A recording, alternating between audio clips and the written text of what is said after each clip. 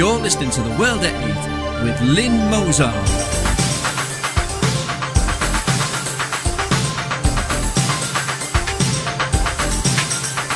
The World at 8, the number one in nationalist news. Highlights of the news today, Tuesday 30th of September 2014. Woman raped by Asian in Sunderland's Mowbray Park. Fake Newcastle cabbie kidnaps young reveller before sexually abusing her. Peterborough's Mohammed Abbas jailed for sex with underage girl. Oldham woman implores, deport beast who raped me, please. Have you ever heard of Rotherham's James Cole? You should have. He reported the crimes in 2005. This tiny country produces five times as many Islamic State fighters per capita as Turkey. Ukraine crisis hits gas prices in Italy. Oettinger blames celebs for nude photo hack. Hong Kong protesters and China dig in. Thought for the day, crisis BNP, what to believe. And finally, 50 years ago, food we used to eat. Now I have another announcement to make on the days we will be on air. We at Radio Britain are not buggering about just for the sake of it. We are free now to test various days and times and we have kept a close eye on numbers. Now to keep ourselves to two days a week is good for the moment as although we have a few UK reporters our main European one is ill and indeed has been in hospital in France for the last couple of months. Get well I'm no kafar, we miss you. So we've shifted the two days we are doing from Tuesdays and Thursdays to Mondays and Fridays. This means that at least two days will be on the previous three days but not Wednesday. This gives a weekend for Monday news and four days until the Friday news and we can still have interviews on Friday as per usual. This format will start this coming Friday.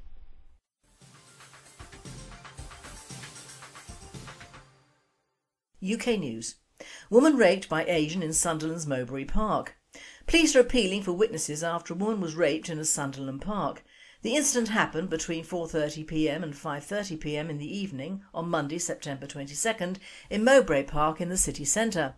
The woman, aged in her 40s, was in the park when she was approached by a man who attacked her. He is described as Asian, aged in his 20s. Officers are carrying out inquiries into the attack and are appealing for any witnesses and anyone who was in the park on Monday evening to contact them. It's thought that around the time of the attack a man who had a beard and a woman were walking in the park and officers are keen to speak to them as potential witnesses. Police are carrying out extra patrols throughout the park and surrounding area. World at 8. If the witnesses are Asian, not a hope.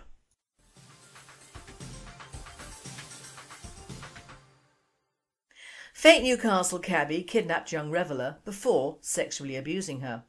Businessman Mohammed Malik is facing years behind bars after he kidnapped and molested a 20-year-old who thought he was a taxi driver. As she was a stranger to Newcastle, she didn't realise she was only 200 yards from the place where her and her friends were staying. She was unsuccessful in trying to hail a taxi outside Sinner's Bar and so started walking towards the Haymarket up Newgate Street.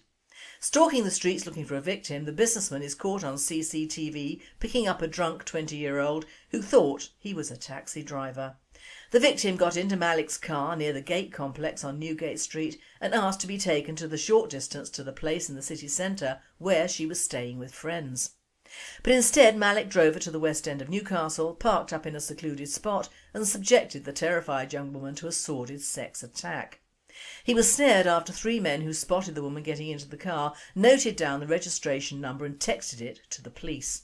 Now the 30-year-old of Beaconsfield Street, Arthur's Hill, Newcastle is facing years in prison after a jury at Newcastle Crown Court convicted him of kidnap and sexual assault. Judge John Milford told him, doubtless you have been warned as to the sort of sentence you are likely to receive in terms of years. World at 8. Why not deportation for him and his family? Why this keeping them all over here and feeding them for years? He is a criminal and a foreign criminal at that, although this goes on in their home countries all the time.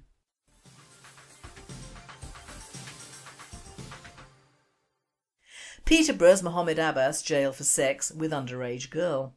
Mohammed Abbas, 30, groomed the girl when she was 12 years old and took her to a park where he tried to have sex with her. He would drive her around in his black BMW and take her to houses for sex. She would often not return home for several days. The offences came to light as part of Operation Earl, a joint inquiry by Cambridgeshire Constabulary and the Peterborough City Council into child sexual exploitation. The victim was identified during another investigation. Abbas, previously of Gladstone Street, Peterborough, initially went on trial in June, however a jury at Peterborough Crown Court failed to reach a verdict. A retrial started and he was convicted of two counts of sexual assault on a girl under 13 by penetration and two specimen charges of sexual activity with a child. He was sentenced to 12 years for the sexual assault charges and 8 for the sexual activity to run concurrently. He will be deported after serving his sentence. World at 8 and all his stinking community as well I hope.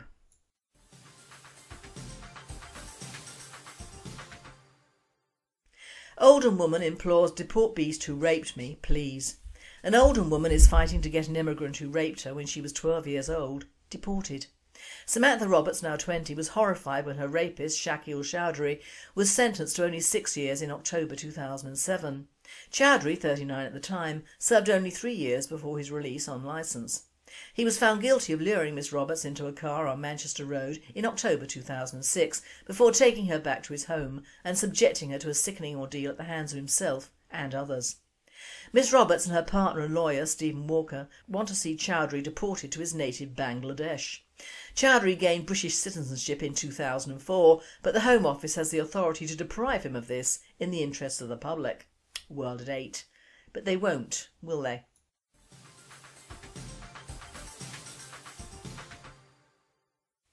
Have you heard of Rotherham's James Cole? You should have. He reported the crimes in 2005.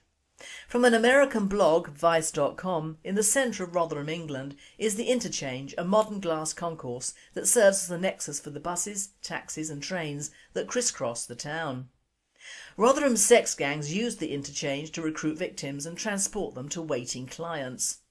According to the Alexis Jay report, which said 1,400 young girls were abused over a period of 16 years within the well-lit and sterile corridors of the interchange, school children ran a gauntlet of drug dealers, addicts and people involved in a range of criminal activity.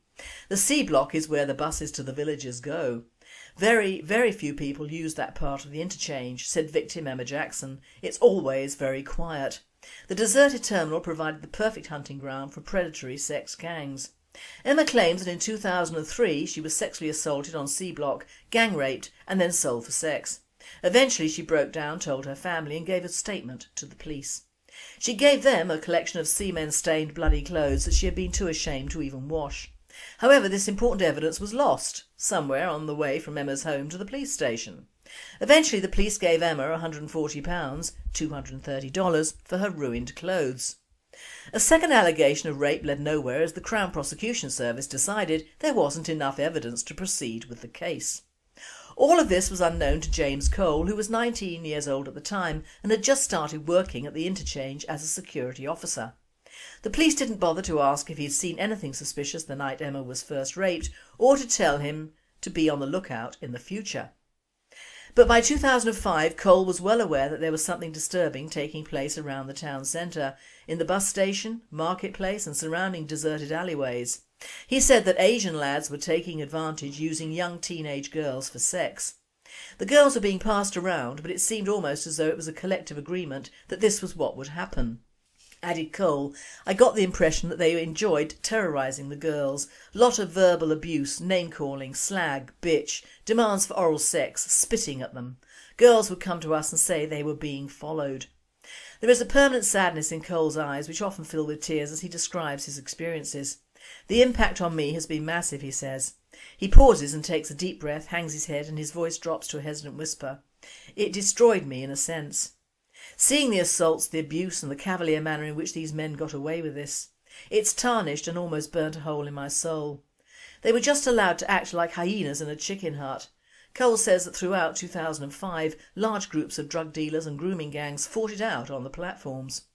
He reported incidents to the police and the South Yorkshire Transport Executive but, he says, whatever I reported went into a black hole. His bosses asked him to draft a child protection policy for the interchange, which he did, but it gathered dust in a drawer. In February 2006 a serious assault on Lorraine, a 16 year old girl, sickened Cole. He filed a witness statement to the police that claimed an Asian man had tried to force Loren to give oral sex to one of the gang and she had refused. He recalled she spat in his face and he ordered the gang to assault her in retaliation. Loren was beaten senseless. According to the report she was cornered between a marble screen and revolving door by four Asian men and a white man. She had no escape. As one punched her in the face another was kicking her in the body. When the first two had finished the white male went in and punched her in the face and threw her onto the floor. Another man dragged Loren off the floor and sent her crashing down again, rendering her unconscious. He then stamped on her face. Another man then entered the fray and continued to kick and punch the motionless young girl. Cole said, I thought they were going to kill her. We had it all on CCTV and it was very, very clear. I begged her to speak to the police who arrived at the scene 45 minutes later. Loren's attackers were all known to the cops and security staff, yet no prosecutions followed. Cole says that months after the incident occurred, police returned to the recording to the CCT operator who had accidentally dropped it and stood on it, destroying the important evidence of the gang's activities. In August 2010 the interchange suspended Cole after he made a complaint about the conduct of police at the interchange. His employers offered him an out-of-court settlement which he decided to accept and move on without seeking legal action against them. A few months later in November 2010 Cole was reading his local paper the Doncaster Star over lunch. World at 8. So, as both Nick G and I have said for years, this has been going on and no one has done anything about it. And even now, despite the so-called resignations, nothing will change until the British people change and stop putting up with it. The full story by Ann Zernick and Peter Sawyer and there is much more to it as found at http colon forward slash forward slash www.vice.com forward slash read forward slash Rotherham dash grooming dash security dash guard dash and dash victims dash interview dash 091.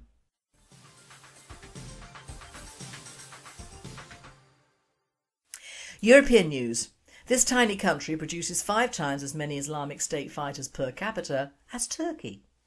As 46 members of the radical Islamic group Sharia for Belgium went on trial Monday, accused of recruiting Belgian fighters for the Islamic State's war in Syria and Iraq, a simple question was on the world's mind. Since when was Belgium such a hotbed of bellicose Islam?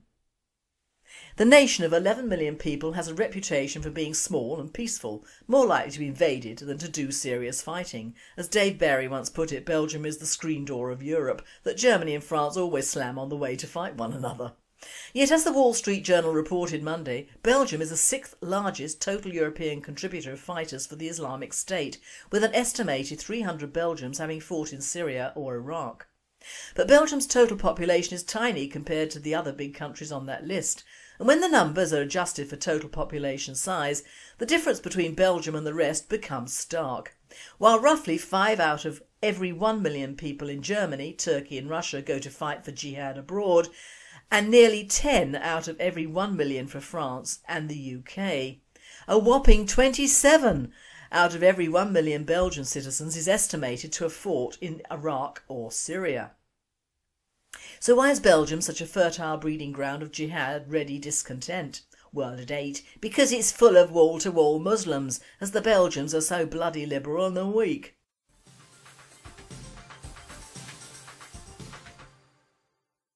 Ukraine crisis hits gas prices in Italy.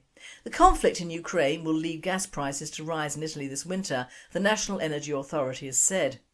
Gas prices will jump 5.4% in the last quarter of 2014, Italy's energy authority said on Monday.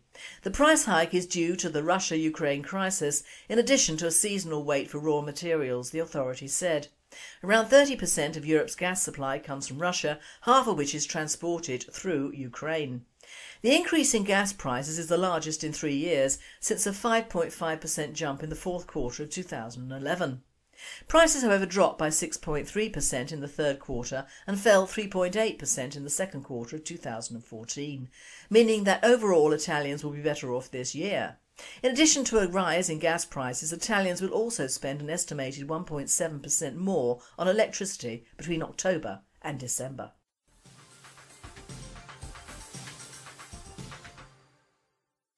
Oettinger blames celebs for nude photo hack. German newspapers on Tuesday ridiculed incoming EU Digital Commissioner Gunther Oettinger after he blamed stupid celebrities for having their private nude pictures hacked and spread online. A trove of revealing selfies and other images of stars and models have been snatched from Apple's iCloud and posted online in recent weeks in what the, giant, in what the tech giant has called a targeted attack. Oettinger, German's, Germany's EU Commissioner, was asked about the scandal in a Brussels hearing. He replied, if a celebrity is stupid enough to take a nude photo of themselves and put it on the internet, then they can't expect us to protect them. There's a limit to how far you can protect people against their own stupidity, he said on Monday. News site Spiegel Online said the comments show that the 60-year-old, who currently holds the Energy Commissioner's post, has not understood the affair about hacked celebrity images and judged that the new post may be too challenging for him. It pointed out the encrypted images files are automatically sent by smartphones into the data cloud as a backup and that the images were stolen by criminals. Spiegel Online added that Oettinger's comment reflected the notion that if you use the internet you have yourself to blame. The Hamburger Abendblatt also called the comment a faux pas, while Business Daily Handelsblatt said the reply showed that Oettinger lacked the required technical expertise on online privacy protection. Well to date, Oettinger is right, everyone has a responsibility towards themselves. You can't expect a state or government to act like a nanny state or a handkerchief when someone has been just plain stupid.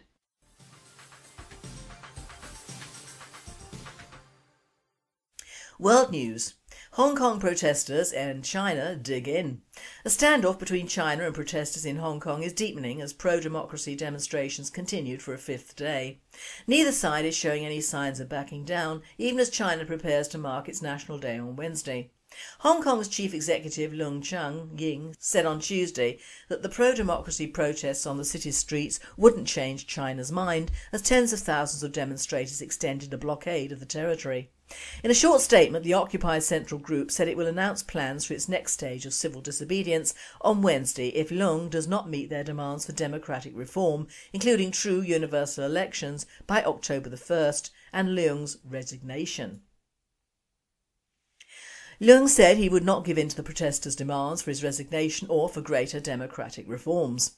However, Leung called on the Occupy Central movement to end the five days old protests because they have gotten out of control. He called the protests illegal but said he expected them to last for a long time. He also told the protesters that demonstrating would do nothing to shake Beijing's resolve. World at 8. Fine. How can we help Hong Kong? We should never have handed over. But we daren't awake the sleeping dragon. Just keep taking all the crap they send us and we keep sending them money. Stop Chinese imports, now that would be a start. We're just as weak as the air pilots we send out to bomb ISIS and they come back because they can't find them. Bloody ridiculous.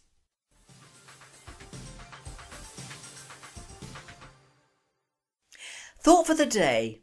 Crisis BNP, what to believe. Well this is a fine pickle we find ourselves in it Ollie scratch of head and a quick re-look at the flurry of emails. Now what I'm about to say might put me in the new naughty corner of the party, but I'm used to that. The Wigton Soviet have invented a new form of punishment for officials or activists who rattle their flimsy cage. It is called the Conduct Committee and has awesome powers. This particular bit of flimsy was sent out yesterday by the chairman's PA, which I couldn't work out whether it stood for piss artist or personal assistant, but suffice this person has no name and only goes under the signature of Adam Walker, so he must be doing two acting jobs, which is clever from a guy who can barely do one job at a time. The guys on that committee should be pilloried and or ashamed and as Barnett is the secretary of that committee perhaps a cloth cap and a couple of whippets down his drawers should get the process moving along very nicely thank you. I do hope they provide the relevant shade of puce for the auto de fe pointy hats which I've always fancied wearing actually although the singeing of my private parts I'm not so keen on. So now we have in the BNP for the first time a conduct committee, which is a waste of time as we all know that if one strays from the path of righteousness it is out foul spot, on the spot. Now if you, like me, are heartily sick and tired of it all then gather round and I will try to explain in layman's terms what has happened. I cannot go into the legal details because unlike Nick G I have only worked in legal offices not trained as a legal. So allow me to put it in simple terms and miss out the unnecessary bits. Just take it from me that the EC meeting which resulted in NG's supposed resignation was not only illegal but pre-planned well before that meeting. After about eight hours of bullying and yelling the deed was done and to say there were only about four people in that meeting who did not know what was supposed to happen is true. We voted just to get the whole miserable business over and done with. It was the worst meeting I've ever attended both in and out of either the corporate or political arenas. But that is done and dusted and the acting chairman has stated there will be no immediate EC or EGM meeting and no immediate internal elections for either bona fide chairman or deputy chairman.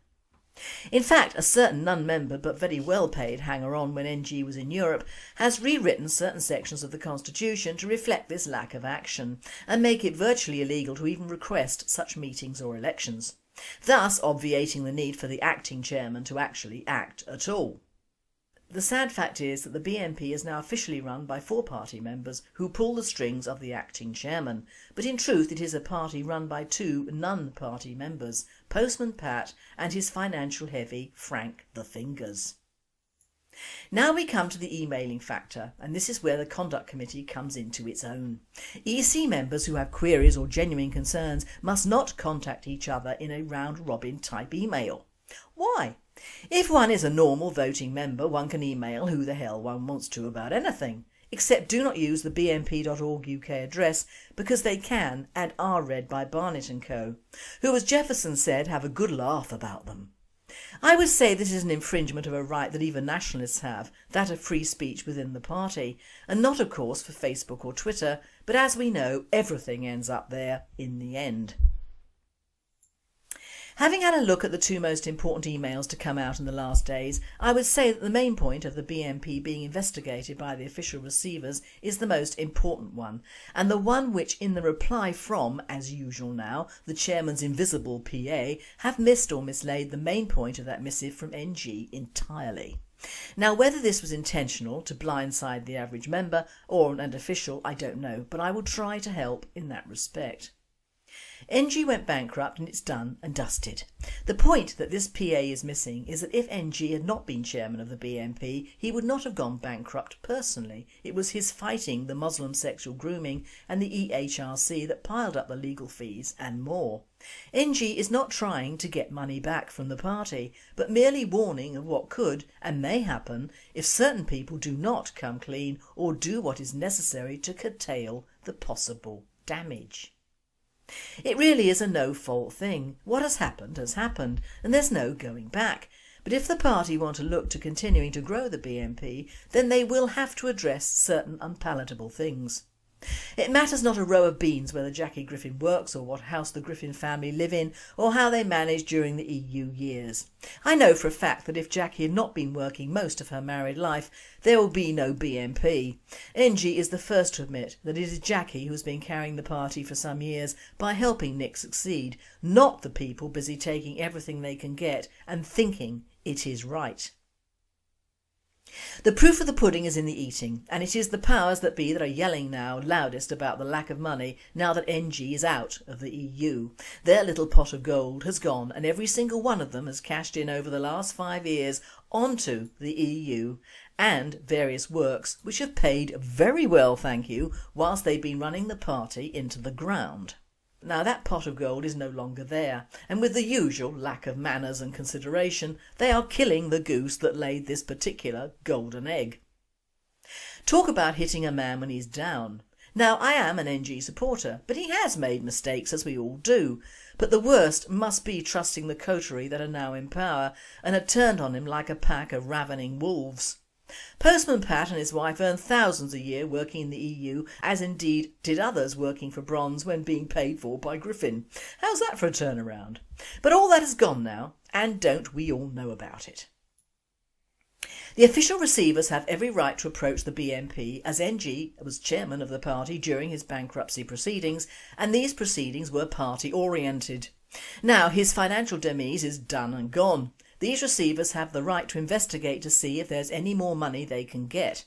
It has nothing to do with personal or impersonal bankruptcy proceedings. That has now finished and a new stage might well begin.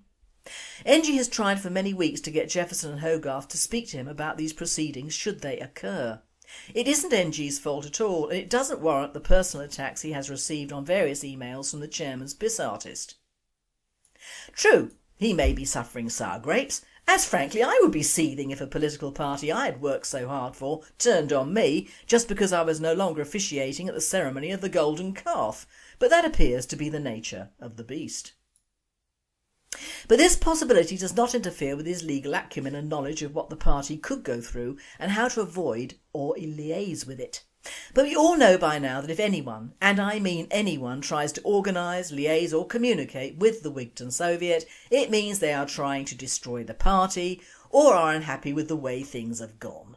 True, but all I know is that when I joined 10 years ago, although communications were still bloody awful, there was still a freedom of speech between officials that could be undertaken without censoring and nastiness.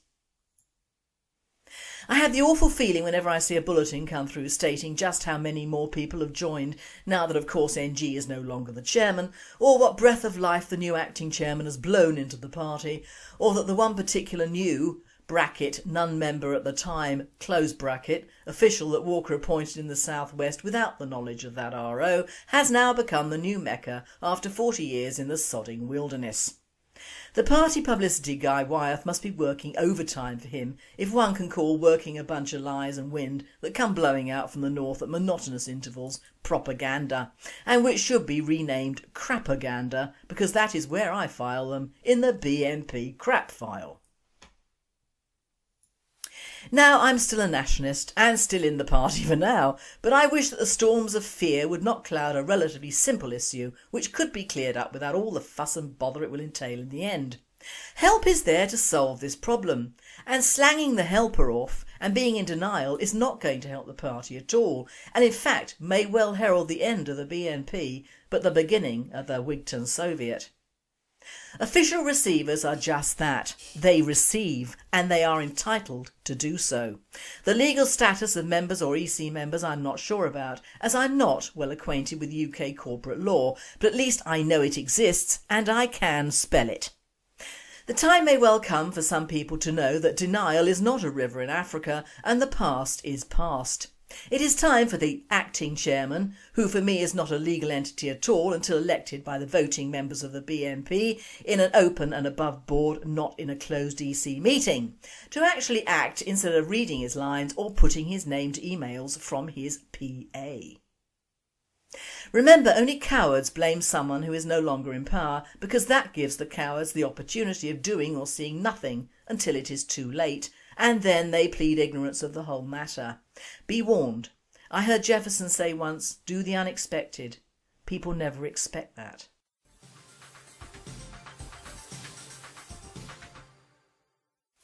And finally, the food we ate in the 50s. Nostalgia, nostalgia, nostalgia.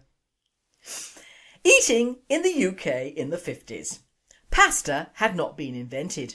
Curry was a surname. A takeaway was a mathematical problem. A pizza was something to do with a leaning tower. Bananas and oranges only appeared at Christmas time.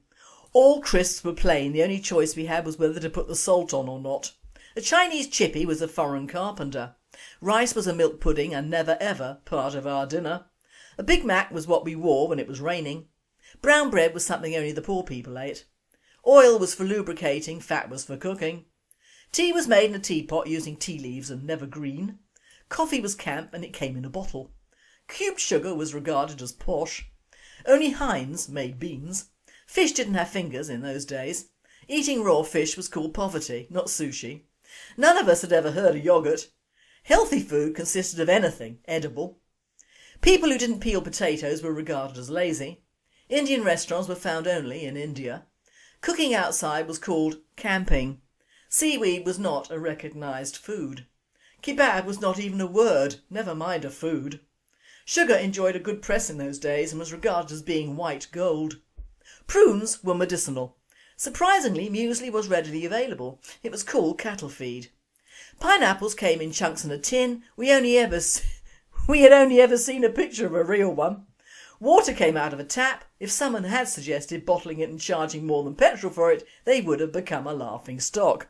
The one thing that we never ever had on our tables in the 50s was elbows. May I add that if food went a bit mouldy we cut off that bit, put it in the pig bin and let the rest. No daft sell-by dates, our mothers used common sense. I can only disagree with the coffee, my mother never bought it, as it was expensive from the proper coffee shops that used to sell it and the smell wafted down the street, lovely.